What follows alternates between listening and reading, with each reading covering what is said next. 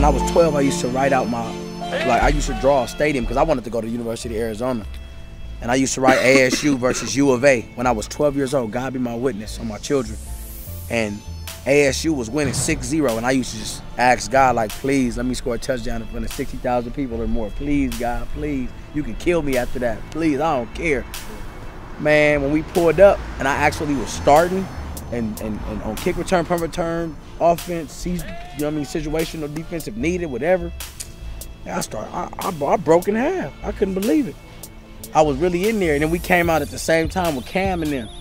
Yeah. So that was, oh, man, that emotion. And I scored the first play. Like, come on, man. I mean, that's only a situation that you can, you know. Cam Newton, national champions, Auburn. Yeah, I scored on that defense first. Thank you. The moral of the story is ASU was abbreviated ASU. Arizona State was Arkansas State was up 6-0 against U of A. In my mind, it was University of Arizona, but it was University of Auburn. God worked that out in so many different ways, man. That's why that's why hard work gets you though. It's been many a nights in the Raymonds, Vermont Square Park, right here in Monteith. That's why I give it to my children.